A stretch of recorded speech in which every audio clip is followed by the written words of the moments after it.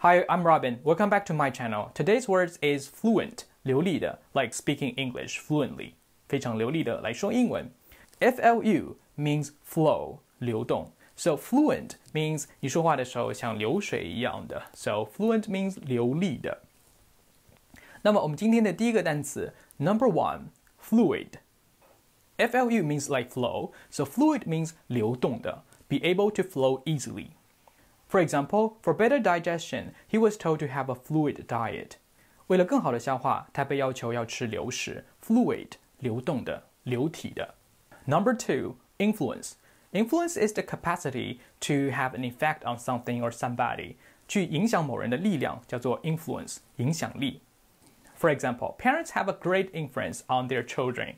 父母对他们的孩子影响非常大。Influence 影响影响力。 Number three, fluctuate. FLU means flow 流动，so fluctuate 是一个动词。Basically, it means to rise and fall randomly，去非常随意的上上下下。那么 fluctuate 就是波动的意思。比如说，the trades with other countries tend to fluctuate from year to year，跟其他国家的贸易呢，随着每年不同而波动。Number four, affluent. A 加任何一个辅音都表示 to 的意思，表示一个动作的开端。So affluent basically 它字面上意思就是去流动的意思。那么 affluent 它是一个形容词，having a great deal of money, wealthy，非常富有的、富庶的，叫做 affluent。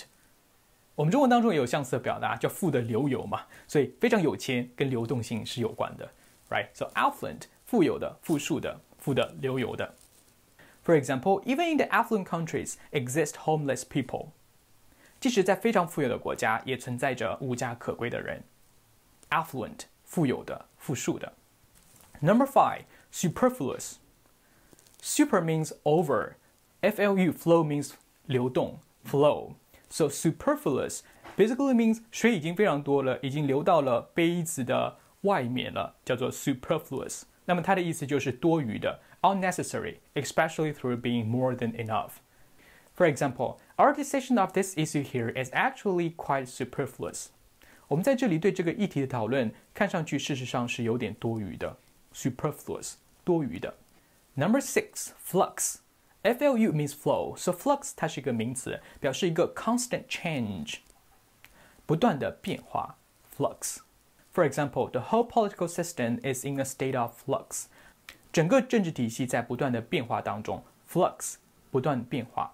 Number seven, mellifluous.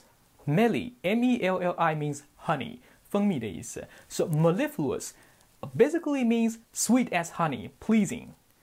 像蜜一样甜的，非常令人愉悦的。那么这个单词主要是修饰 music 音乐和声音方面。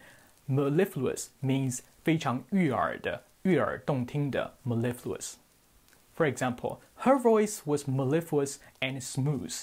它的声音听起来是非常悦耳动听的，并且非常的顺滑的 mellifluous，悦耳动听的。Number eight, confluence. C O N con means together. F L U flow means 流动。So confluence 它是个名词，表示 the junction of two rivers，两条河流的交界处叫做 confluence。它的意思就是河流的交汇处或者汇集地。For example, New York is a major confluence of the world's financial markets. 纽约是世界上金融市场重要的交汇处。Confluence 交汇处、汇集地。Confluence. Let's review what we just learned. Number one, fluid 流动的。Number two, influence 影响。Number three, fluctuate 上下波动。Number four, affluent 复数的、富裕的。Number five, superfluous 多余的。Number six, flux 不断变化。Number seven, mellifluous 悦耳动听的。Number eight, confluence 交汇处。汇集地。Thank you for watching my video。谢谢大家收看我的频道。如果你喜欢我的频道的话，不要忘记去收藏、去关注、去转发、去分享。So see you next time. Bye.